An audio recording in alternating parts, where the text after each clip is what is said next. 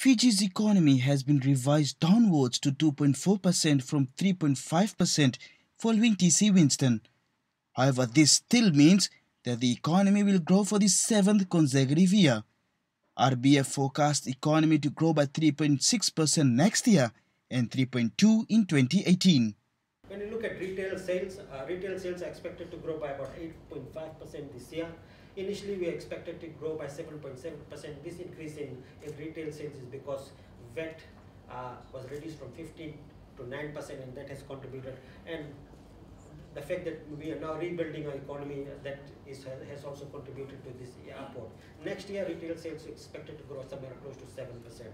Private sector investment has also grown from 4 to 5% few years ago to 13% this year.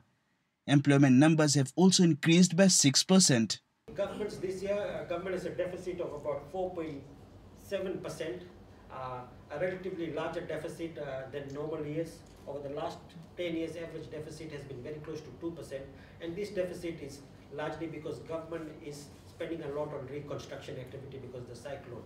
So if you take out direct government expenditure associated with the tropical cyclone, government debt deficit will be close to 2.7%.